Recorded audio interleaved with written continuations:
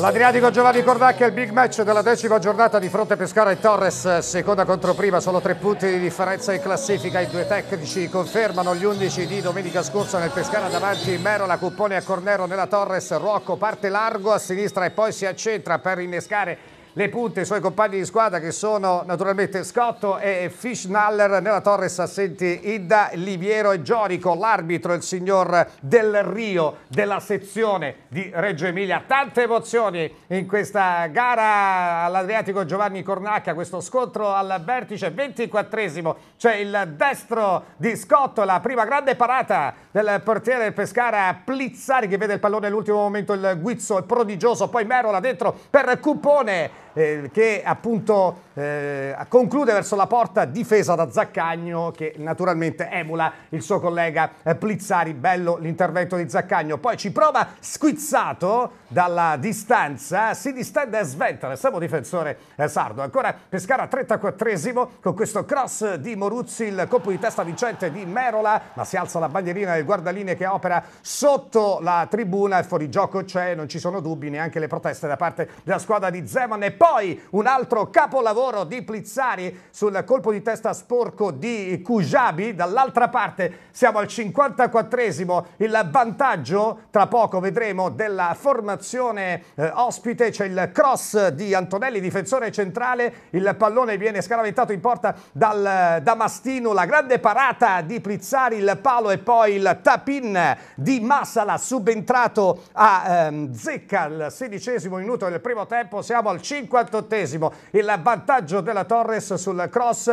grande eh, parata di Plizzari, anzi due interventi però eh, sul secondo il pallone è già entrato, aveva già varcato la linea di porta, il gol di Masala, Alessandro Masala, classe 96 e poi dopo tre minuti in contropiede con il Pescara sbilanciato Fischnaller per Ruocco che elude l'intervento in uscita di Plizzari e deposita il pallone nella porta sguardita 2-0 Torres al 62esimo, dunque in 4 minuti 1-2 terrificante per la squadra di Zdenek Zeman qui senza equilibrio si fa infilare l'11 biancazzurro e poi tutta la qualità di Francesco Ruocco, classe 2001, uno degli elementi più interessanti della squadra di Alfonso Greco, ma c'è la grande reazione del Pescara, l'assist di Squizzato per Merola, il secondo gol in campionato, il terzo complessivamente in una stagione finora avara di soddisfazione per il 10 biancazzurro, però ritorna in partita, si aggrappa al risultato il Pescara, perfetto l'assist di Squizzato per Merola che supera Zaccagno, siamo al 65esimo, arrembante il Pescara in questa fase. Entra Tommasini, palla indietro per